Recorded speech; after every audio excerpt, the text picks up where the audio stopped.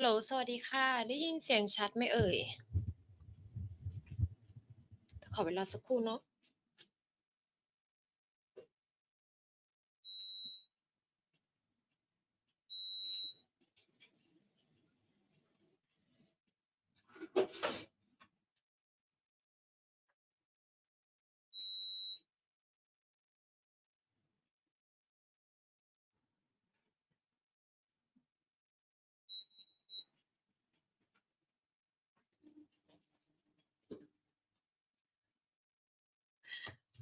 ฮัลโหลสวัสดีค่ะ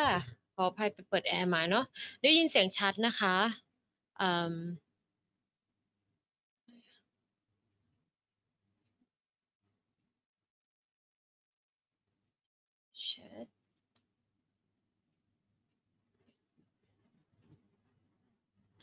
โอเค เดี๋ยวเอ่อขออนุญาตรอสักครู่นะคะเนาะ เดี๋ยวเราเริ่มกันเลย ถ้าสมมติว่า เอ่อใครมีคู่ไหนที่อยากให้เป็กช่วยดูให้สามารถแจ้งได้นะคะ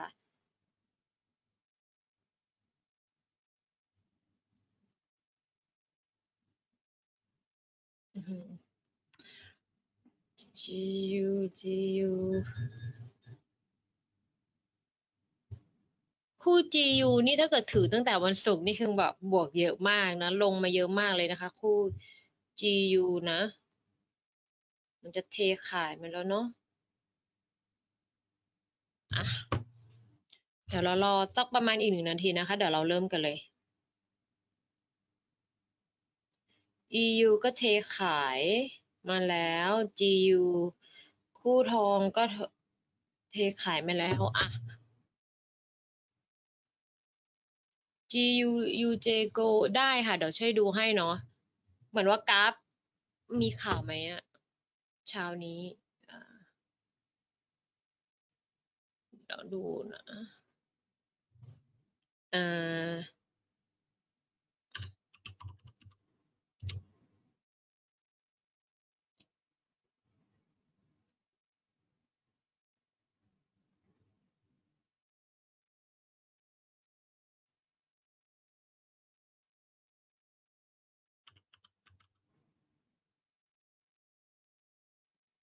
เดี๋ยวเปลี่ยนเป็นทม์โซนก่อนเนาะ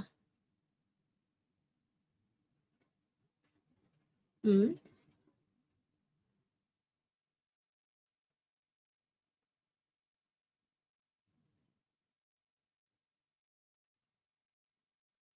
เอ้าทำไมหาไม่เจออ๋อโอเค วันนี้วันจันทร์ วันนี้ไม่มีข่าวอะไรเนอะมีข่าววันนี้แค่ตอนสองทุ่มสิบห้าเนาะ FOMC นะคะ แล้วก็วันนี้ไม่ค่อยมีข่าวกล่องแดงเนาะโอเคอะเดี๋ยวเราเริ่มกันเลยนะคะเนาะจะได้ไม่เสียเวลา เดี๋ยวนะก็สวัสดีนะคะทุกคนอ่ายินดีต้อนรับถูเวบินาวันนี้ วันนี้เราจะอ่าคุยกันในหัวข้อเรื่อง Thai Live Trading อ่า Trading Section นะคะ เดี๋ยวเรามาหาจุด จุดเข้า หรือว่าจุดจุดเข้าเทรดถ้าเกิดมีเนาะเดี๋ยวเราเข้าพร้อมกันนะคะ disclaimer ก่อนเลยนะคะเว็บนานี้ไม่ได้เป็นการชักชวนการลงทุนอย่างใดนะคะ ถ้าสมมติว่าท่านใดต้องการจะเทรดนะคะเป็นแนะนำให้ศึกษาให้ดีก่อนการลงทุนนะคะ เพราะว่าการเทรด CFD เนี่ยมีความเสี่ยงสูง เพราะว่ามันมีการใช้ leverage เข้ามานั่นเอง เนาะ ส่วนตัวนะคะชื่อเป็กกี้นะคะชื่อจริงชื่อศิริรัตน์นะคะ เราตอนนี้ทำงานอยู่ที่ Ever Fortune Group นะคะ ซึ่งเป็น partner กับ IC Market เนาะแล้วก็ส่วนตัวเนี่ยเทรด prop firm ด้วยนั่นเองนะอะเดี๋ยวเราไปดูกราฟกันเลยเนาะไม่อยากให้เสียเวลานะคะอืมขอขยับนิดนึงเนาะเลยอะขยับขอขยับจอนะคะ มันห่างเกินเห็นไหม ต้องขออภัยอ่ารู้สึกเหมือนว่ามันจะมีการเทขายมาเนาะเป๊กขออ่าอนุญาตดูอะอุ๊บบุ๋มไหมเนี่ย เอ้ยยังอยู่ไหมเอ่ยทำไมจอดับอะแป๊บหนึ่งนะคะ อะเมื่อกี้จอดับนะคะเอ่อ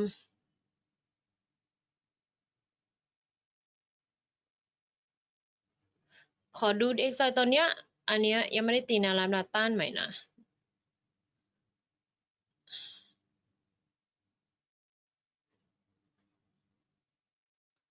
กราฟน่าจะมาติดแนวรับเนาะ ขอตีแนวรับแนวต้านก่อนนะคะ ซึ่ง อ่า เดี๋ยวนะ ขอตีแบบเร็วๆเนาะ เดี๋ยวใส่ watermark ให้นะคะ คือตอนเนี้ย DXY นะมันติดอยู่แนวรับนะ แนวรับที่หนึ่งใช่ไหมได้อ่าเพราะฉะนั้นเนี่ยอ่า GU EU คู่นะมันถึงมีเป็นถึงได้มีอ่า EU GU แล้วทองนะคะ ถึงได้มีการเทขายนะ เนาะ อ่าวันอ่าเอ่อวันจันทร์หน้านะคะแป๊กจะมีสอนการใช้ฟิโบนะคะ ถ้าสมมติว่าใครยังไม่ได้เรียนหรือว่าสนใจเรามาเจอกันได้นะคะ สัปดาห์หน้านะวันจันทร์อ่ารู้สึกจะในหัวข้อ Fibo retracement กับ extension นะคะเนาะอ่า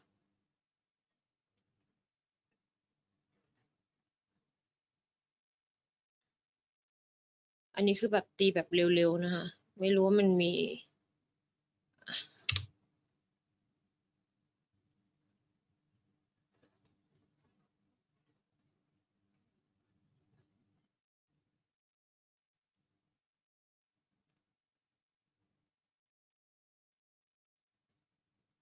อะคู่ EU อืมทำไมอันนี้มันอ่อทำไมเดี๋ยวไปขอขยับสักคู่นะคะทุกคน อะ เดี๋ยวเดี๋ยวขอดูคู่ EU แป๊บหนึ่งนะคะ EU ตอนนี้นะ ดี๋ยวนะขอดูว่าตอนนั้นให้ไว้ที่ราคาเท่าไหร่ในเพจนะคะจำไม่ได้แล้วตอนนี้น่าจะมีอยู่โซนที่เราอยากจะบายแล้วนะคะอ่าสามสิบแปดเนาะอะสามแปดห้าสิบประมาณนี้ เดี๋ยวโซนนี้นะ ถ้าสมมติว่าใครอยากที่จะบายนะ พิจารณาบายได้นะคะโซนนี้ รอการกลับตัวก่อนเนาะเดี๋ยวเราไปดูว่ามีการกลับตัวไหมโซนนี้นะ ซึ่งอ่า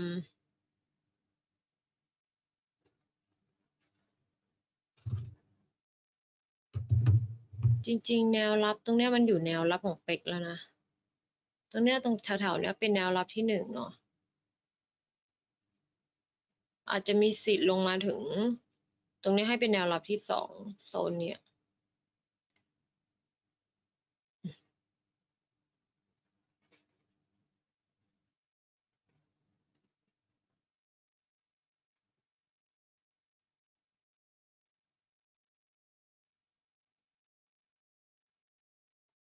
อะถ้าวันศุกร์นี่ถือออเดอร์นี่รวยไปแล้วนะอะติด trend line เนาะติด descending trend line นะคะอะนี่ก็เทรด setup คร่าวๆของคู่อ่า EU นะ มีสิทธิ์ได้นะที่จะลงต่อเนาะอะคราวเนี้ยถ้าสมมติหลุดนะ ต้องเป็กต้องขอดูนะ ถ้ามาอย่างเงี้ยยังไม่มีแบบการกลับตัวอะไรเรายังไม่เข้าเนาะในอ่าทำเป็นเล็กนะคะเดี๋ยวต้องดูก่อนนะ เพราะมีการเทขายลงมา เป็นไปได้ว่าจะเทมาถึงนี่หรือเปล่า เพราะฉะนั้นเนี่ยตอนนี้เที่ยงใช่ไหมเดี๋ยวรอดูตลาดยุโรปนะว่าเขาจะเปิดแบบไหนเนาะแต่คือตอนเนี้ยเราไปดูทำเฟรมเล็กนะ อะยังยังมีการเทขายมาเนาะ เดี๋ยวเราไปดูคู่ทองก่อนเพราะทองอะ เป็กมองไว้ตรงราคา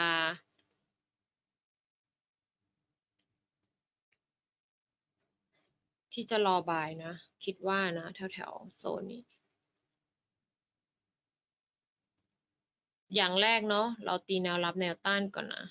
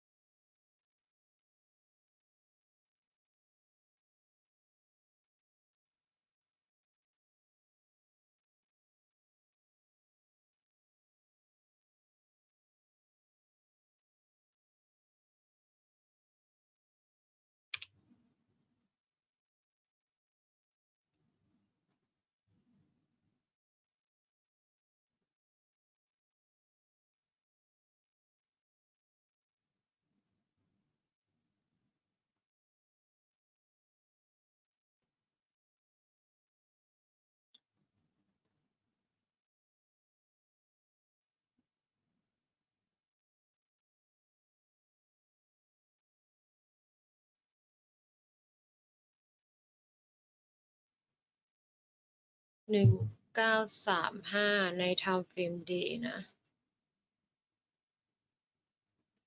ถ้าแถวเนี้ยถ้าแถวเนี้ยเรา นี่ราคาอยู่ที่ประมาณหนึ่งเก้าสามห้านะ มีใครจะเข้าไหมเอ่ย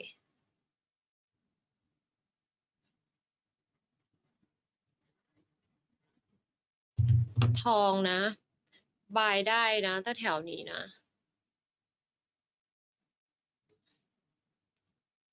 ถ้าแถวสามเนี่ยสามห้าประมาณนี้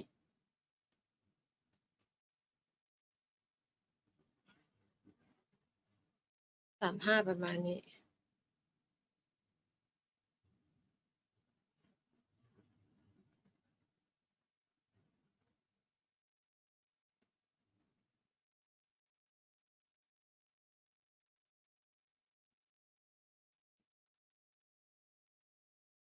อันนี้ก็เก็บสั้นนะ แต่จริงๆอะแนวรับที่สวยคือประมาณโซนนี้นะ อ่า อะโซนนี้หนึ่งเก้าสามหนึ่งหนึ่งเก้าสามหนึ่งอะหน้าบายนะคะ หน้าบาย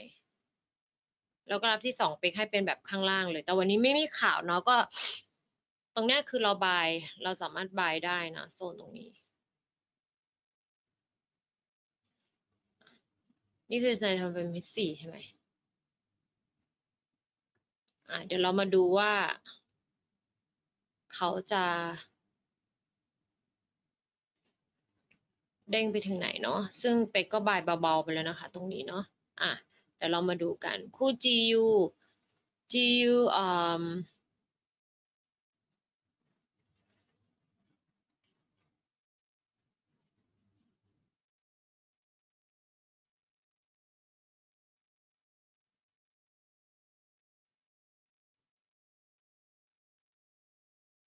เออ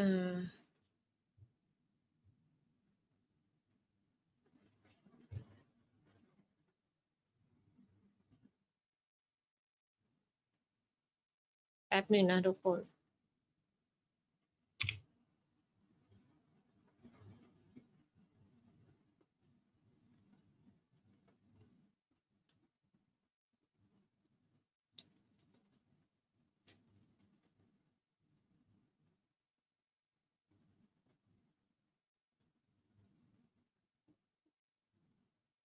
ตอนนี้ปิดมาแล้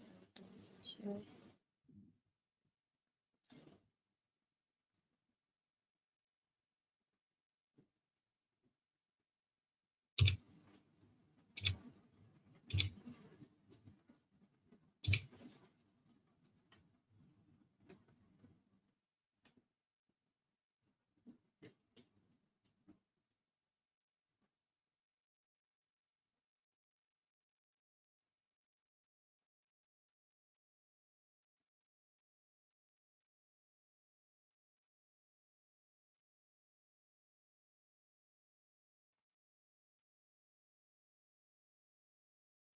ตรงนี้ใช่ไหมหนึ่องหก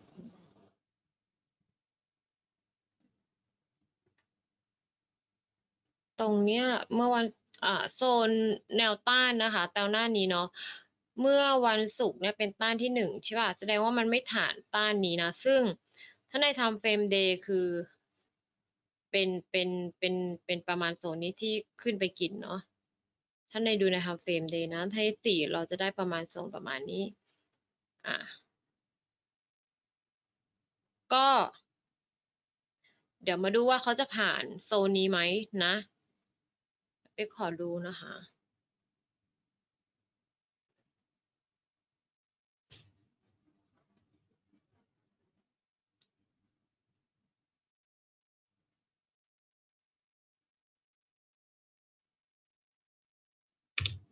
อะให้ประมาณนี้ก่อนนะ แนวรับแนวต้านนะ ต้านที่สองก็น่าจะอยู่ตรงนี้แหละ ไม่ผ่านได้นะ เดี๋ยวเราต้องดู confirm นะ ทองอะเป๊ก buy ไปนะคะ buy ไปแล้วนะเบาๆเนาะไม่มีข่าวเนาะก็ไม่น่าจะผันผวนเยอะนะคะ วันนี้ ซึ่งเขาลงมากินตรงไหน อะ อยู่ในกรอบนี้ซึ่งกรอบลงล่าสุดก็น่าจะประมาณ ถ้าเราดูในทางเฟรม M5 นะ M5 อยู่ประมาณนี้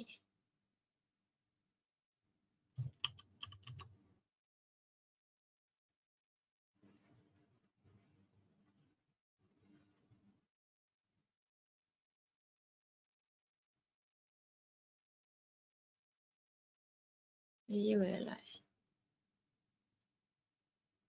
มันอีไว้สองร้อยมาไหน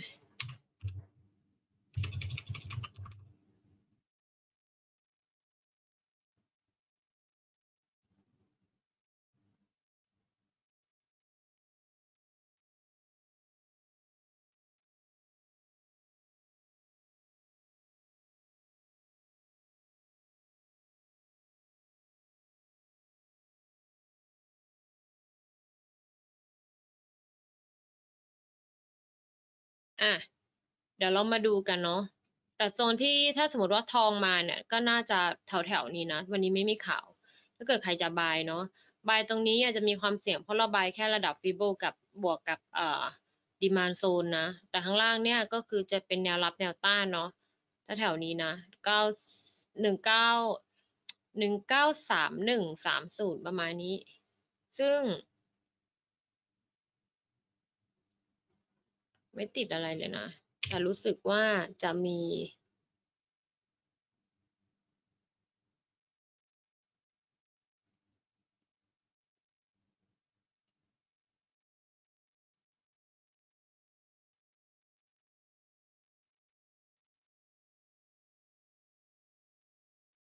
อ่ากับกับมีดิซินเทเลไลน์นะ ดูว่า เขาจะลงต่อไหม เพราะว่าตอนเนี้ย ถ้าใน time frame day ก็คือ ยังเป็นขา นี่คือใน time frame day นะ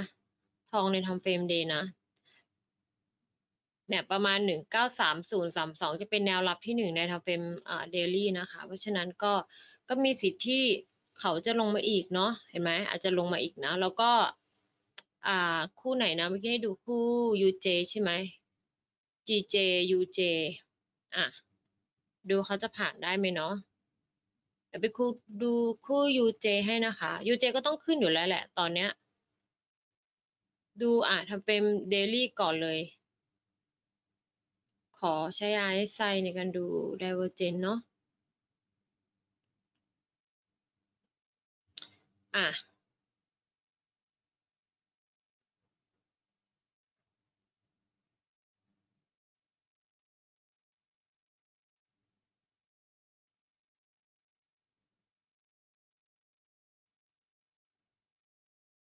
ตรงเนี้ยจริงๆต้องเป็นแบบแนวรับหรอ ตรงเนี้ยแนวรับนะ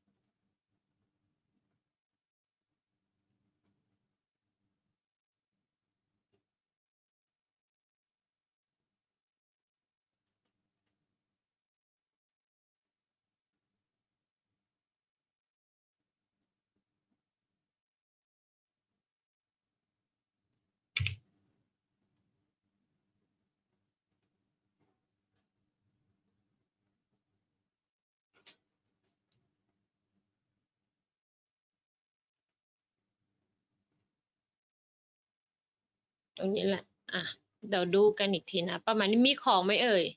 ตอนนี้มีของไหมได้ติดติดโซนตรงไหนไหมคะเป็นให้ตรงนี้เป็นแนวรับที่หนึ่งนะ รับที่สองก็อาจจะแบบขึ้นมานี่เลยนะ อ่าแนวต้านที่สองนะคะ ซึ่ง อ่า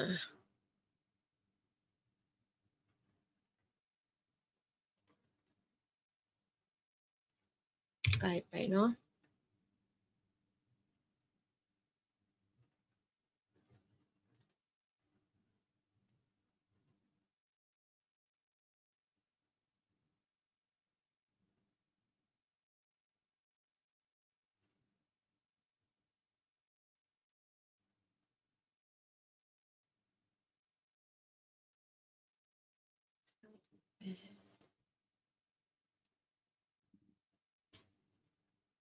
อะตรงนี้แหละเป็นแนวรับนะแนวรับโซนนี้นะ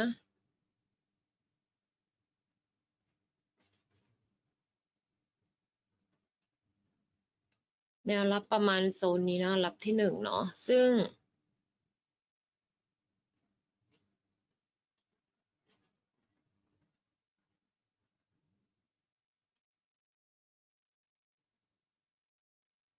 อะอันนี้รับที่สอง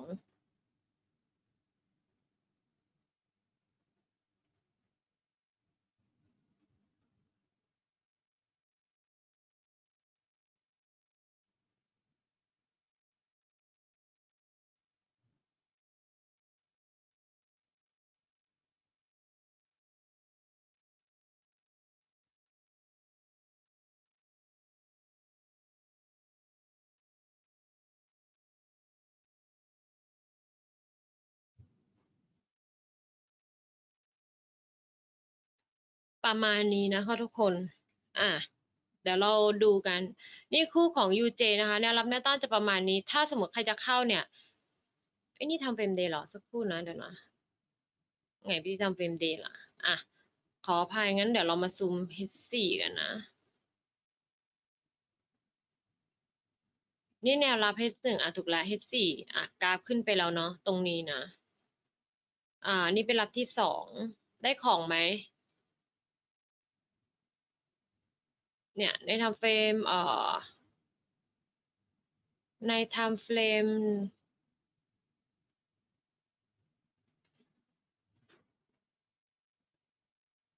H1 นะคะ มี Divergent นะ เมื่อเช้าก็ อะ มีไหม ขอดูก่อนนะ อะ ไม่มีเนาะ อันนี้ไม่มีนะคะ กราฟขึ้นไปแล้วนะ อันนี้ที่เข้าเนี่ย ในทำเฟรม H4 เราเราเมื่อกี้เราตี Fibo จาก daily เนาะแถวนี้จะมี Fibo confluence อยู่นะคะ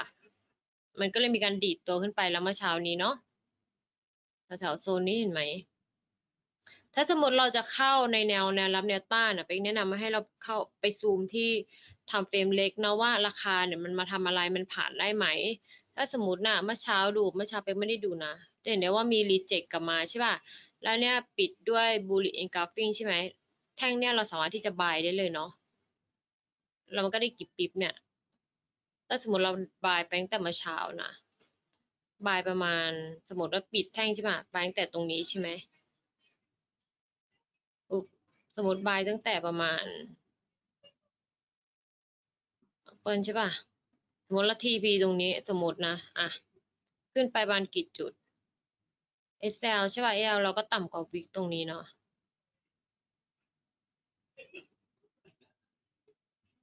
ห้าสิบแปดปิ๊บเลยนะถือว่า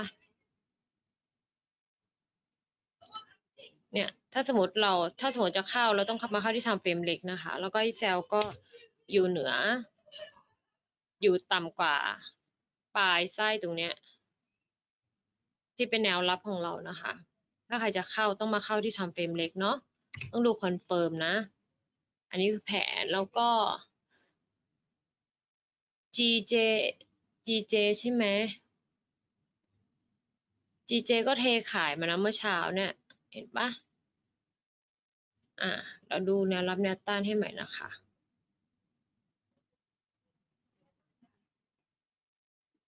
ดีดกลับ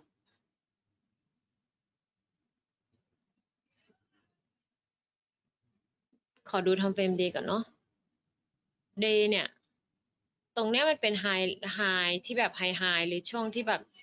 ได้ของมาเหมือนกันนะคะ แต่แบบไม่น่าจะกลับไปถึงแล้วตอนนี้ ฉะนั้นเราไม่เอาไปจะเอาประมาณ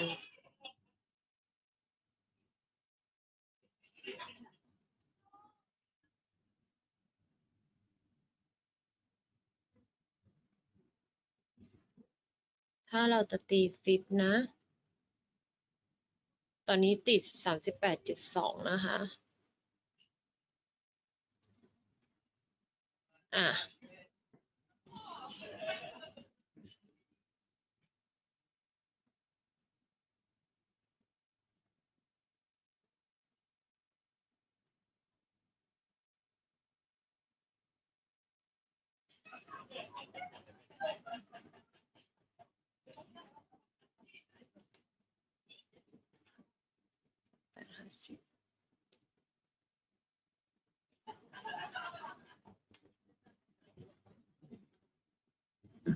อืม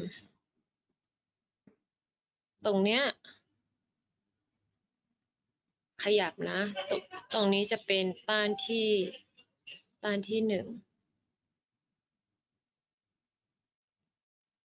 ตรงนี้เป็นต้านที่สอง นี่คือในทำไฟมิสี่นะ มองนี้เหมือนจะเหมือนจะไอ้นี้ใช่ไหมแต่ไม่นะคะอ่าถ้าเราขยายดูจะค่อนข้างกว้างเนาะ อันนี้เราตีแนวรับแนวต้านเฉยนะคะ ประมาณนี้ซึ่ง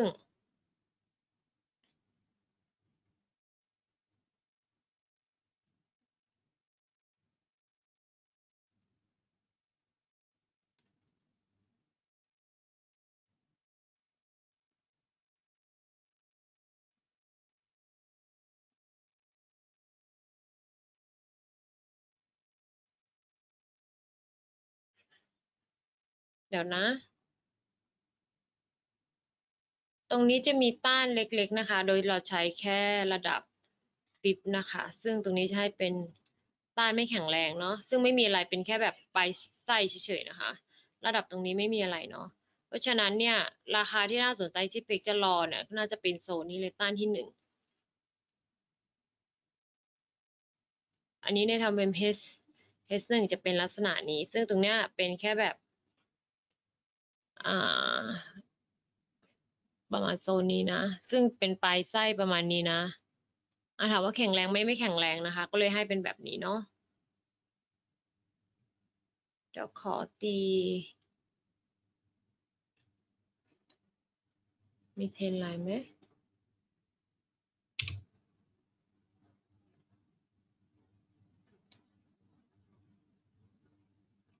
อะ เพราะฉะนั้นตอนนี้ใช่ไหมราคาขึ้นไปแล้วดูว่าถ้าใครจะรอเซลล์รอเซลล์บนนี้นะตรงนี้อยู่กลางทางไม่ต้องเข้านะคะโซนประมาณนี้เนาะรอดูตลาดบ่ายนะคะตอนนี้กราฟครึ่งทางไปแล้ว เพราะว่า DXY ยังขึ้นได้อยู่ ซึ่ง DXY ขึ้นถึงไหนไปก็มองว่าขึ้นถึงต้านที่หนึ่งนี่แหละ ได้ขึ้นถึงประมาณต้านที่หนึ่งนี่แหละ อาจจะเป็นโซน ให้เป็นโซนอาจจะมาถึงโซนแถวๆนี้ ใช่ไหมเพราะฉะนั้นเนี่ย EU GU อะยังลงต่อได้ ซึ่ง ยังไม่มีการขึ้นไปนะเบกอาจจะรอล่างๆเลยนะคะ ตลาดยุโรปเดี๋ยวดูอีกทีนึง เพราะว่า ได้ของจริงๆได้ของในวันศุกร์ใช่ไหมก็ไม่ได้มีการถือนะคะ เพราะปิดไปแล้วเนาะตั้งแต่วันศุกร์นะ อะตรงนี้เป็นต้านที่หนึ่งเนาเห็นไหมต้านที่หนึ่งอะ ที่ใครถ้าดูที่ไลน์นะ ใครผ่านมาที่ไลน์นะวันศุกร์โจนต้านที่หนึ่งซึ่งตรงกับเทรนไลน์พอดี แล้วก็เทขายลงมาแบบค่อนข้างสวยงามนะคะ อ่า คราวนี้เดี๋ยวเราดูว่าตรงเนี้ยเขาจะมี EU นะเขาจะมีเบรกในแนวแนวนี้ได้ไหม ซึ่งเป็นดีมานโซนเนาะแต่ตอนนี้คือยังไม่มีอะไรให้เห็นนะว่าเขาจะหยุดแถวๆตรงนี้นะคะ อ่า เดี๋ยวเราต้องมาดูกัน มีเล็กๆดีมานนะ ในทว M5 เนาะ อันนี้เป๊กไม่มีของนะ เป๊กมีของแค่ทองอย่างเดียวนะคะ ทองก็เบาๆนะคะ ไม่ได้กดหนักเนาะ น่าจะถือได้เพราะว่าตลาดเช้าไม่ค่อยผันพวน แล้วก็วันนี้ไม่มีข่าว GU เนี่ยส่วนตัวก็จะอาจจะรอบายแถวๆนี้นะคะ ในรับที่หนึ่งเนาะ อ่า เดี๋ยวรอรอดูดูกัน เนี่ยยังไม่มีการกลับตัวให้เห็นเลยนะคะ มีแค่แท่งเขียวๆในแท่งนี้มาแท่งเดียว ก็ยังไม่มีอะไรมานะทุกคน ต้องดู M15 M15 ก็ไม่มีอะไรนะคะ แต่เราเห็นอะไรบ้าง Divergent ก็ไม่มีนะ อืม ถ้าสมมติว่า M5 อันเนี้ยจบ หรือ F15 จบเขียวอะอะมีสิทธิ์ที่จะขึ้นนะ ถ้าเราอ่านแท่งเทียนถ้าอย่างเงี้ยเรายังไม่เข้านะคะ มีสิทธิ์ที่จะลงต่อเนาะแต่เราดูอีกทีหนึ่งในคู่ GU นะคะ GU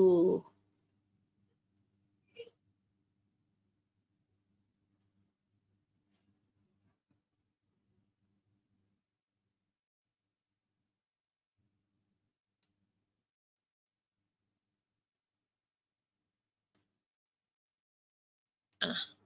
วางที่แบบเป๊ะๆนะแนวรับแนวต้านวางแบบเป๊ะๆนะ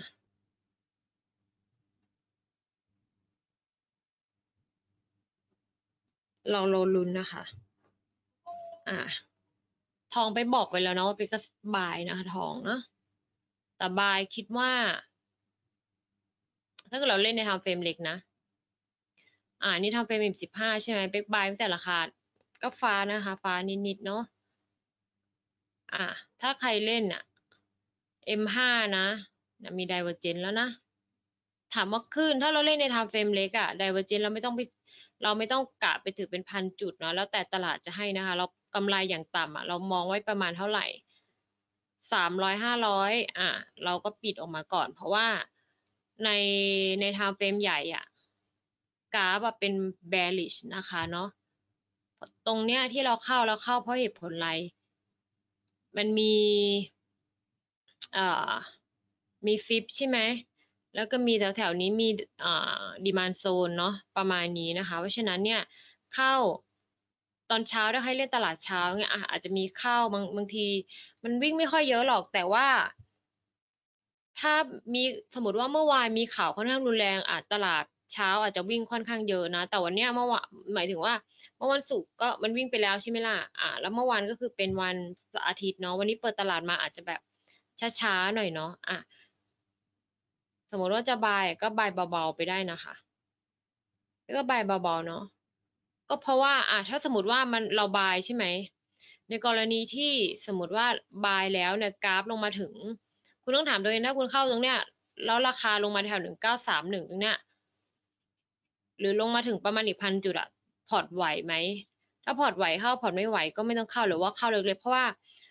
เรารอที่จะ buy อีกประมาณโซนแถวๆนี้อีกประมาณราคาหนึ่งหรือถ้าใครเทรดเอ่อ order block ใช่ป่ะ ตรงนี้ก็จะมีคนรอ buy ตรงนี้แหละแถวๆโซนเนี่ยอะเนี่ยตรงเนี้ยถ้าเราจะไฮไลท์ใช่ป่ะ แต่เขาเนี่ยคุณเล่นเทคนิคไหนเราก็ต้องยึดเทคนิคนั้นไม่งั้นมันจะงงถูกต้องไหมอ่า เราก็ อ่าตรงนี้เราก็รู้ว่าอาจจะมีคน buy ไหมตรงนี้แล้วตรงนี้มีปลายไส้มาทำไรก็มีข่าวใช่ไหมมีข่าวแต่ตรงนี้เป็นไรในทำราคาหนึ่งเก้าสองห้าซึ่งมันเป็นแนวรับใน time frame day อ่าแถวๆเนี้ยมันเป็นแนวรับใน frame ใน time frame day ซึ่งtime frame day แนวรับจะเป็นตรงนี้แนวรับที่สองของ time frame day นะ เมื่อเมื่อเมื่ออ่า ในที่ถ้าเกิดเราตีแนวรับแนวต้านเนี่ยตรงเนี้ยจะเป็น time frame day นะ รับที่หนึ่งของ day ประมาณนี้ เห็นไหมราคาเนี่ยมาถึงรับนี้ปุ๊บ แล้วราคาก็ดีดขึ้นไป แล้วตรงเนี้ยมีอ่า supply demand zone อยู่ใช่ไหมล่ะอะราคาก็มาลงได้แรงข่าวด้วยแหละ แล้วก็ราคาก็ดีดตัวขึ้นไปเนาะคราวนี้ส่วนในทำเพชสี่เนี่ย เราเห็นในทำเป็นเพชสี่ใช่ไหมเราก็ต้องมีการขยับแนวรับแนวต้านใช่ไหมในการตีเนาะ อ่าเดี๋ยวเราดูกันว่ากราฟเขาจะเขาจะขึ้นได้ไหม ซึ่งตรงนี้อาจจะมีติด supply zone เล็กๆ นะ ในทำเฟรม M M เอ่อสามสิบใช่ไหมอ่าแถวๆเนี้ย ซึ่ง ประมาณห้าสิบเปอร์เซ็นเนาะกราฟก็เลยเหมือนจะแบบว่ามีการเทขายทองก็จะมีขึ้น บ้างเดี๋ยวเราต้องรอดูตลาดยุโรปนะ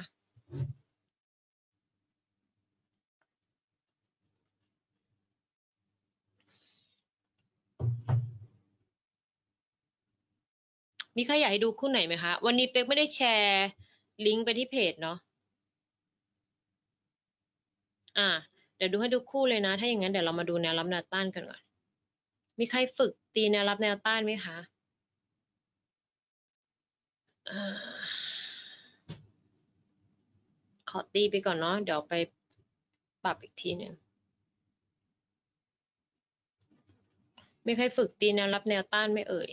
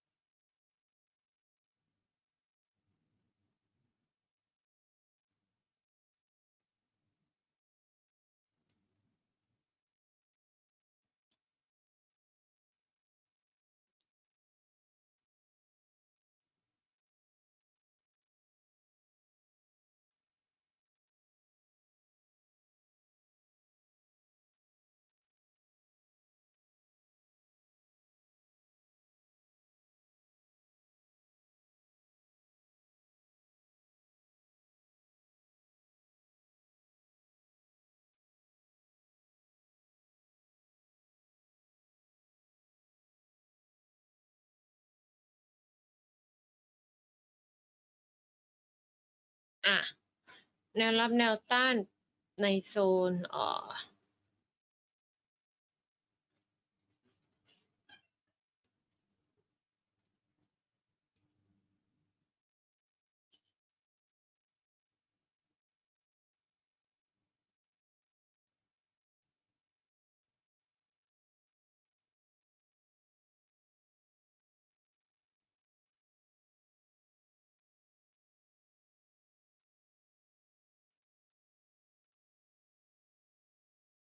ประมาณนี้เนาะอะดูว่า เขาจะขึ้น ซึ่งตอนนี้ถ้าเกิดเราใช้ฟิโบนะ มาติดหกสิบเปอร์เซ็นต์เห็นไหมคะ มันก็เลยมีการแบบย้อนมานิดหนึ่งเนาะอะ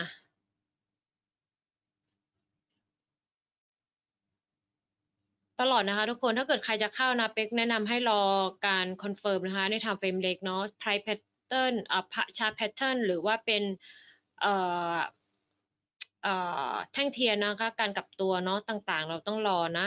UJ เนี่ยเห็นไหมขึ้นไปแล้วในระดับตรงเนี้ยไม่ได้ของนะส่วนตัวเนาะเพราะเพิ่งทำ trade setup เมื่อกี้นะเมื่อเช้ายุ่งนะคะอ่ามี Fibo confluence อยู่เห็นไหมราคาก็ดีดตัวขึ้นไปเนาะถามว่าโซนไหน ตรงนี้มีคนเทขายมาเบาๆเนาะ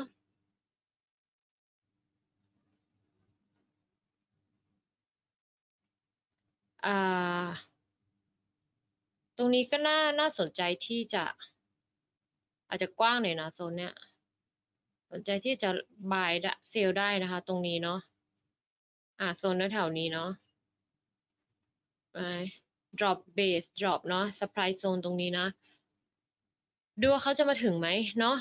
อะใครจะเข้ารอนะคะ ตรงเนี้ยเราตกรถไปแล้วใช่ป่ะเราก็ไม่ต้องไปเสียใจนะคะ ซึ่งตอนเนี้ยทองเหมือนว่าจะเป็นไซด์เวย์นะ ไม่ไปไหนนะคะ ตอนนี้น้องทองของเราเนาะก็อาจจะเป็นไปได้ที่ แล้วใครเทรดคุณอะไรนะ อ่าดีค่ะ ถ้าฝึกบ่อยๆนะคะ ก็จะได้แนวรับแนวต้านเหมือนกันเนาะ ถ้าใครเทรดนะ จะเห็นได้ว่าตรงเนี้ยที่จะได้ของมาเนี่ยจะมีอ่า bearish divergence อยู่ใช่ไหมอ่าเห็นไหม ตรงเนี้ยก็คือจะได้ของมานะบ้าอ่านี่นะ ก็จะได้ยาวมานี่ซึ่งมาที่เราเรารับนี้นะคะ ตรงเนี้ย neckline ใช่ไหมราคาขึ้นไปประมาณตรงนี้แล้วก็เทขายลงมาเนาะโอเค อ่าเดี๋ยวดูให้เดี๋ยวดูเมเจอร์ให้นะคะ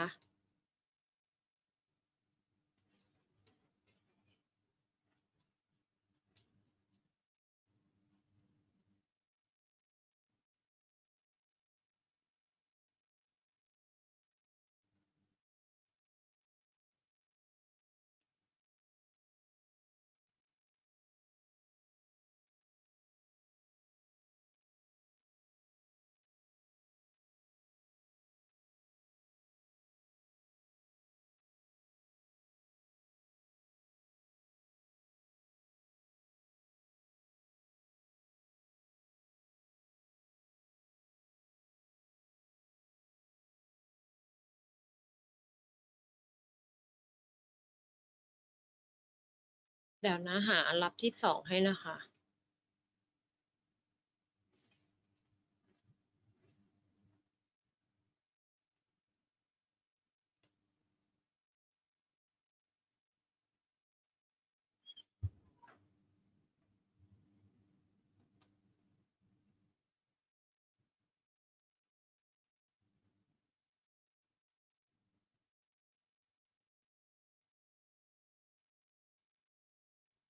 คู่นี้จะหารับต้านยากหน่อยนะในทับเฟรม H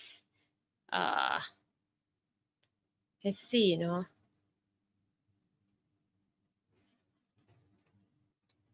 อะ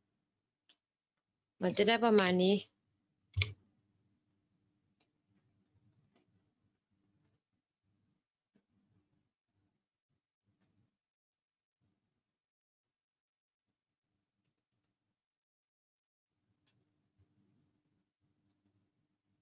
ซึ่ง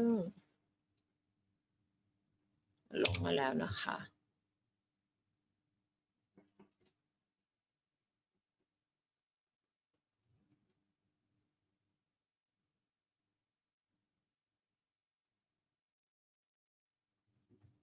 อะ ประมาณนี้นะ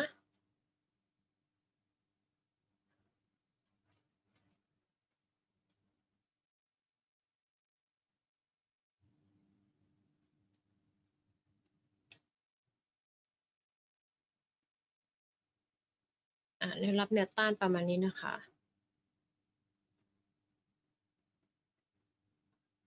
อย่างที่บอกว่าอย่างแรกอะเราจะตีแนวรับแนวต้านก่อนใช่ไหมปกติปกติแล้วเนี่ยเราตีแนวรับแนวต้านทำเฟรมไหน เราก็จะฝึกทำเฟรมนั้น ซึ่งเนี่ย อันเนี้ยร้านที่หนึ่งเชื่ออันทำเฟรมเดย์นะ รับรับที่หนึ่งใช่ไหมแต่ว่าเราเป็นเดย์เทรดใช่ป่ะ เราจะไม่ไปไกลสักเท่าไหร่ ฉะนั้รับแนวต้านจะประมาณนี้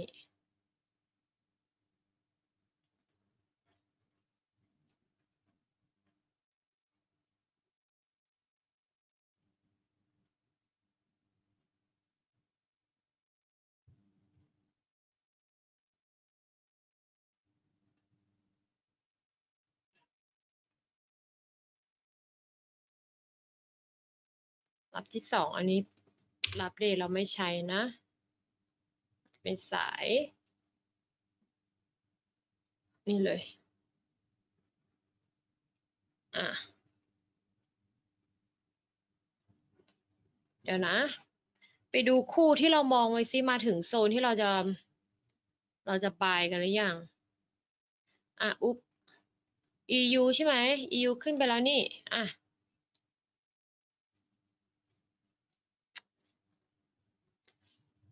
EU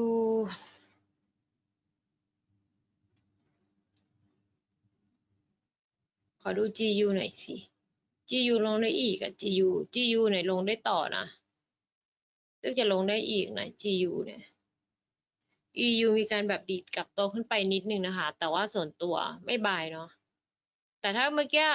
ถ้าไม่ได้ถ้าไม่ได้ทำไม่ได้แบบดูเว็บ i นาอาจจะมีการบายเข้าไปแถวๆนี้เนาะ แต่ตอนเนี้ยมันขึ้นไปแล้วแหละหน่อยนึงเห็นไหม ก็จะไม่บายนะคะแต่ขอดูราคาอีก อย่าไปกลัวการตกรถนะทุกคน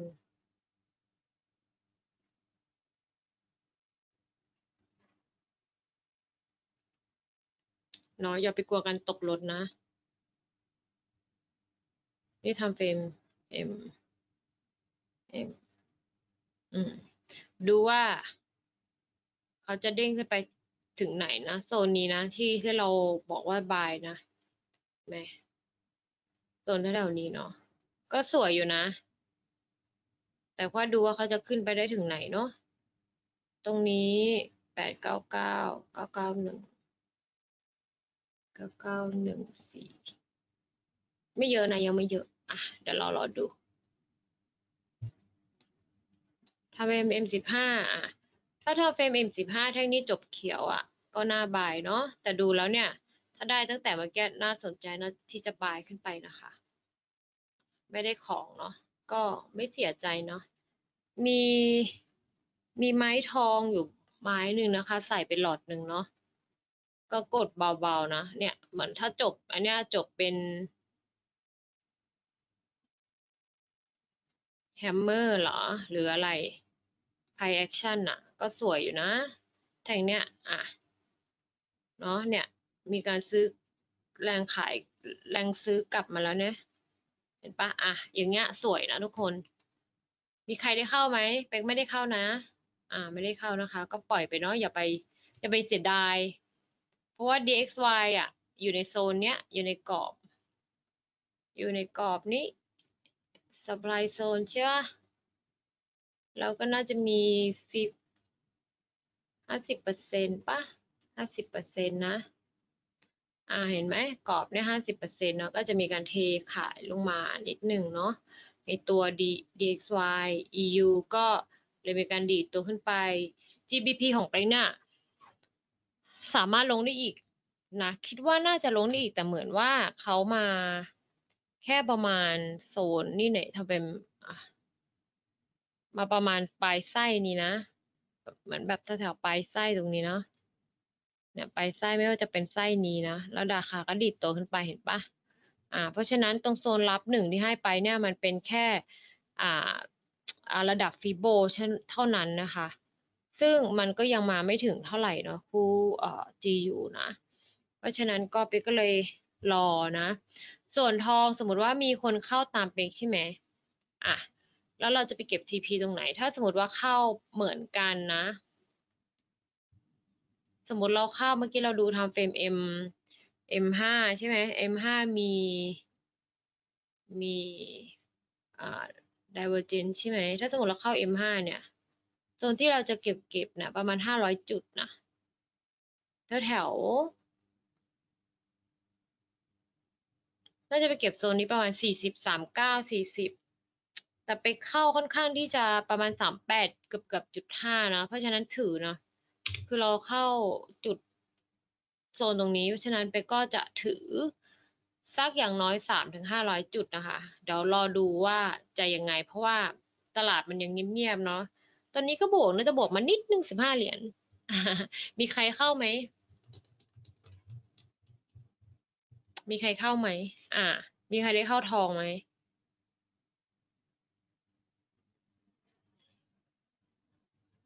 ก็ถือขอ คิดว่าเนี่ย วันนี้อ่า DXY ลง ก็อาจจะมีมีเป็นไปได้ที่เขาจะขึ้นไปเพื่อลงต่อนะเพราะว่าอ่านะ เห็นไหมทำเป็นใหญ่เรามองว่ายังไงก็ลงนะ แต่มันจะติดแนวรับที่ที่หนึ่งนะทำเฟรมเดย์เห็นไหมคะ อ่า ส่วนทองก็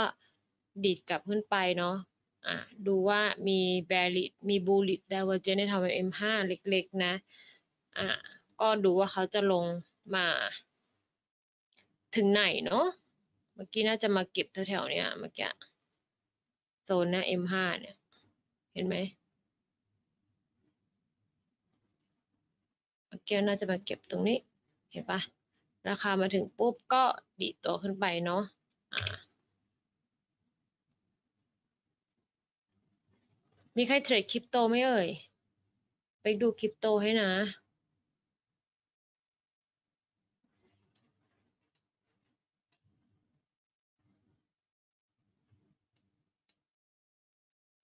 ขออภัย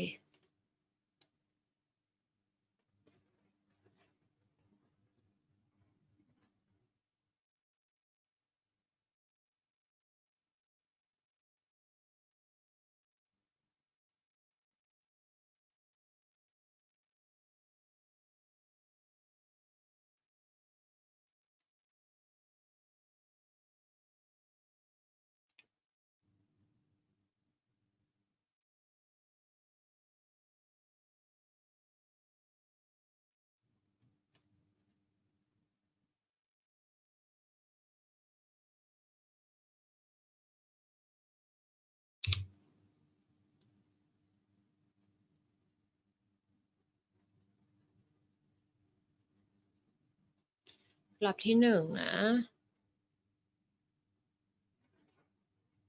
อันนี้รับที่สองเนาะ เพราะฉะนั้นเอ่อ BTC อะ มันเข้าไซด์เวย์นะคะ ใช้ฟิโบในการตีใช่ไหม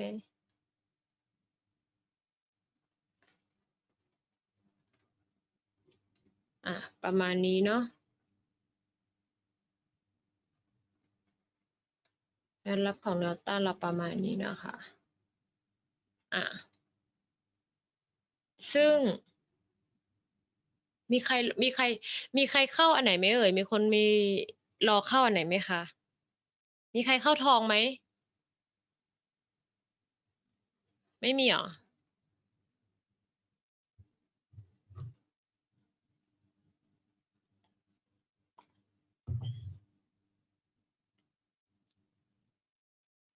อะ DXY จริงๆอะ EU EU เด้งไปนิดเดียว ถูกปะก็เยอะอยู่นะ ไม่ได้เข้านะทุกคน EU เนี่ยเป็นไม่ได้เข้าเนาะดีดขึ้นไปแล้วในกรอบ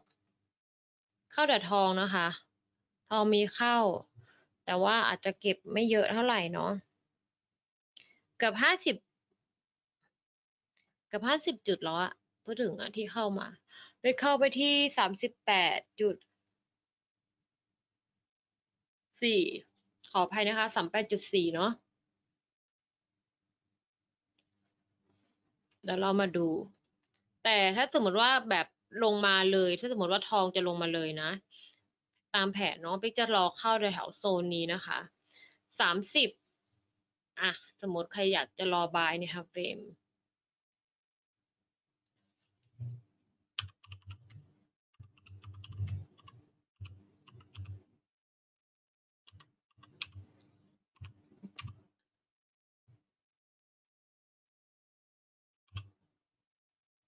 ประมาณนี้นะ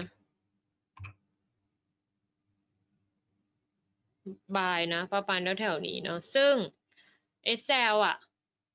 เนี่ยก็ต่ำกว่าปลายไส้เนี่ยเพราะว่าตอนนี้เราเข้าแถวแถวโซนเก้าสิบใช่ป่ะ มันจะมีหนึ่งเก้าสองห้าเนี่ย ถ้า Excel นะ ก็ไปนู่นหนึ่งเก้าสองสามประมาณนี้สองสองสองสามนะ ถ้าเกิดใครจะตั้งอ่า Excel นะ คือบายโซนประมาณนี้นะ แต่เรารอดูตลาดเอ่อตลาดยุโรปเปิดนะคะ เดี๋ยวว่ากันอีกที แต่ถ้าสมมติว่ามันชน SL ไปแล้วแบบเลยไปเลยเนาะถ้าหลุดถ้าหลุดไส้ตรงเนี้ย ก็จะลงมาถึงเนี่ยหนึ่งเก้า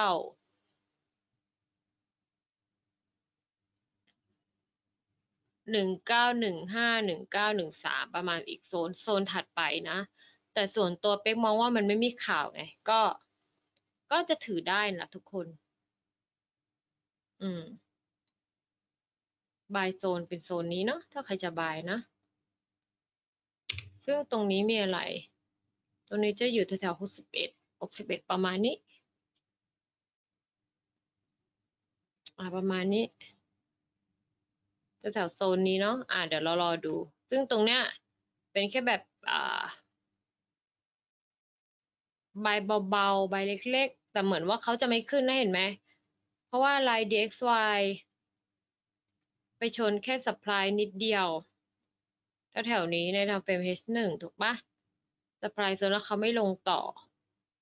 มันเขาอยากจะขึ้นนะ อาจจะขึ้นไปแถวโซนนี้แหละ เราดูตลาดนะคะ อาจจะเป็นไปได้ที่ขึ้นไปแถวโซนนี้เขาก็จะย่อลงต่อเนาะ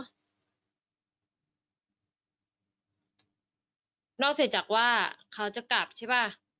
ถ้าให้เทรดเนี่ยมันหลุดมันหลุดโลนี้มาแล้วใช่ไหมคะ ขึ้นมานี่แล้วก็จะเป็นไปได้ก็ทำทำอ่า higher low lower low แบบนี้เนาะอาจจะเป็นไปได้นะที่เขาจะเป็นแบบนี้นะ นอกจากว่าเขาจะขึ้นมา ยืนเหนือ high นี้ไป ก็จะเป็น ก็น่าจะเป็นการเปลี่ยนเทรนแล้วถ้าอย่างนั้นอะก็จะเป็นโซนแบบนี้ละเนาะแต่ตอนเนี้ย ยังไง ก็ยังเป็นเทรนขาลง DXY นะ ใน time frame H4 H4 ก็เหมือนกัน H4 เนี่ย H4 ติด trend line ใช่ไหม ดูเขาจะลงไหม แต่ตอนนี้ EU อะ เป็กมองว่า อาจจะมีการดีดขึ้นไปนิดนึง เนี่ย ถ้าเราดูไอซ์ไซที่สอดไปนะ ขึ้นอาจจะขึ้นได้อีกขึ้นได้อีกนะคะ แค่ตอนเนี้ยมันติดแนวรับเฉยๆในตลาดเช้าแถวแถวสามสิบแปดจุดสองใช่ไหมอ่า ก็ดูว่าเขาจะขึ้นไปเลยไหม ซึ่ง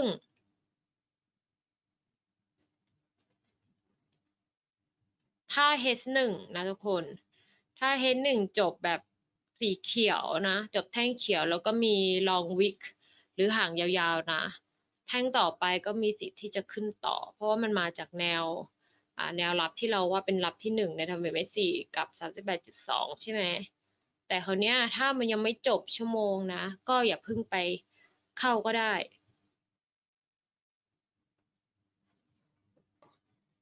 ขออภัยนะทุกคน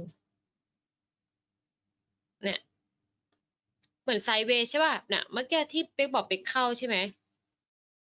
ก็ตอนนี้ก็ฟ้านะยี่สิบสองเหรียญนะคะไปใส่เป็นหลอดหนึ่งอย่างที่บอก เหมือนน่ะถ้าใครเขาเทรดแบบแนวรับแนวอ่าดีมันสัพพายอะอะตรงนี้เขาก็จะมีอะไร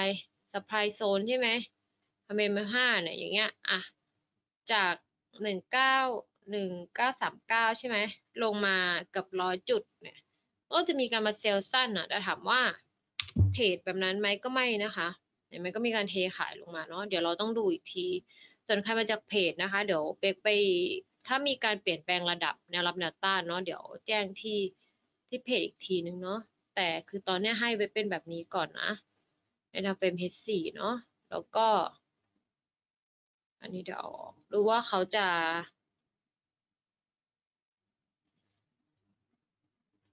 เขาจะเทขายลงมาเลยไหม ถ้า เห็นนะตัวตรงนี้ใช่ไหม จะมามามาแค่นี้แล้วก็ทิ้งโลมานี่ไหม แล้วก็ทำเป็น lower low higher low แบบนี้ป่ะ วิ่งเหนือวิ่งอยู่ใน bearish channel line เนาะอะ จะเป็นแบบนี้ไหม เดี๋ยวเราต้องดูในทางเว็บสี่นะครับ ในทางเฟซเว็บสี่คือเป็น bearish นะคะ เนาะ ซึ่ง daily time frame เราก็มองเป็น bearish เหมือนกัน ส่วน H1 H1 เนี่ย ติดแนวรับแถวๆโซนนี้ ดูว่าเขาจะผ่านได้ไหมเนาะโอเค ทุกคนมีคำถามอะไรไม่เอ่ย เข้าทองแล้วเหรออะเข้าแล้วก็ต้องฟ้าแล้วถูกต้องไหม เข้าหลังเข้าก่อนหรือเข้าหลัง ตอนเนี้ยเป็กบวกสิบเหรียญเข้าทองอะ อ่า เดี๋ยวเราเดี๋ยวเราเราดูว่า เขาจะ เขาจะเด้งไหมสามร้อยห้าร้อยจุดก็เก็บไปก่อนได้นะคะ อ่า ถ้าเราดู indicator เนี่ย กราฟ sideway นะแบบเนี้ย อ่า อย่างเงี้ย ตอนนี้ช้าๆเฉื่อยๆนะ ถ้าใครไม่อยากรอก็ปิดแล้วก็ออกมาก่อนก็ได้นะ ถ้าสมมติกราฟวิ่งแบบเนี้ยบางทีเป๊กอาจไม่ถือนะคะ อาจจะปิดก่อนแล้วก็เดี๋ยวไปหากินข้าวนะตอนกลางวันเนาะ แต่ถ้าสมมติเราปิดแล้วมันขึ้นไปพันจุดก็ไม่ต้องไปเสียดายนะคะทุกคน อ่า นี่คือทำเฟรมเล็กนะ เนี่ย จะจบชั่วโมงยังหล่ะเดี๋ยวรอรอรอรอดูจบชั่วโมงก็ได้อะเดี๋ยวรอดูจบชั่วโมงว่า ถ้า M สามสิบไม่ได้ยืนเหนือเส้นนี้ก็ไม่สวยนะนะ M สิบห้าต้องจบขึ้นไปอีกเนาะ M ห้าเนี่ย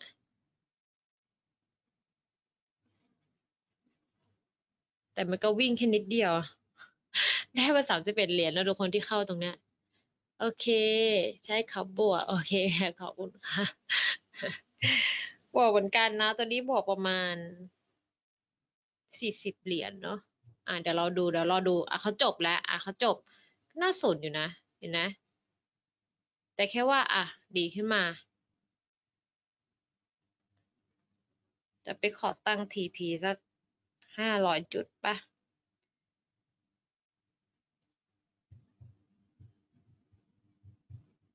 เอาค่าขนมเนาะดูว่าเขาจะขึ้นไหมเพราะว่า ถ้าไม่ขึ้นคือจะลงนะ แต่จริงๆ ถ้าจบแบบเนี้ยก็ไม่ค่อยสวยเท่าไหร่นะเห็นไหม เพราะว่าอันเนี้ยแท่ง M สามสิบอะถ้าจบสวยๆต้องเป็น bullish engulfing ใช่ไหมอ่า ก็มีสิทธิ์ลงนะ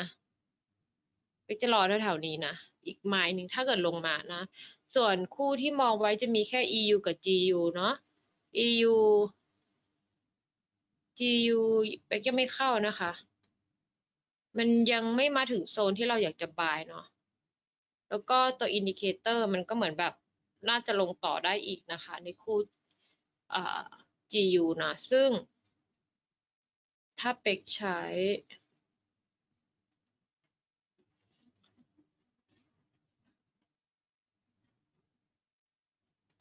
อันนี้ใช้ไม่ได้เพราะหลุดไปแล้ว แต่ว่ามีเทนไลน์ไหมนะเป็น MH1 นะ ถ้าสมมติว่าเขามาถึงโซนนี้แล้วเขาเด้งอะเทนไลน์เส้นนี้ถึงใช้ได้นะ ตอนนี้เทนไลน์สองเส้นนะเราจึงใช้ไม่ได้เนาะอ่าเดี๋ยวปิ๊กจะขอ ก็ไม่ได้นะ เดี๋ยวเราดูกันเนาะ โอเค อ่า ก่อนที่เราจะไปเนาะก็ แนะนำโบทให้หน่อยนะคะ อะ เห็นไหมแล้วเดี๋ยวกันเจออ่าเจอกันอีกทีวันจันทร์หน้านะคะ ซึ่งเดี๋ยวเป็กจะสอนในหัวข้อ Fibo retracement กับเอ่อ extension เนาะอะเดี๋ยวเราเดี๋ยวเราเจอกันวันจันทร์หน้านะคะเนาะ ส่วนตอนเนี้ยอะเป็กดูแล้วเนี่ยเหมือนจะมีการเทขายต่อเนาะเพราะฉะนั้นเนี่ย safe zone เลยเดี๋ยวเราไปรอ buy กันแถวหนึ่งเก้าสามศูนย์ถึงหนึ่งเก้าสามห้าประมาณนี้เนาะอ่าโอเค time frame H หนึ่งแท่งก่อนจบ hammer เลยเข้าครับ H หนึ่งนะเหรออะก็เข้าไปแล้วเหมือนกันถือนะ เมื่อกี้ก็บวกตัวนี้ก็แดงๆนะคะ ถ้าเราไม่ได้โอเวอร์เทรดมันก็มันก็ถือได้นะ ไม่มีปัญหาเนาะ อืม โอเคค่ะทุกคนยังไง เดี๋ยวเราเจอกันอีกทีวันจันทร์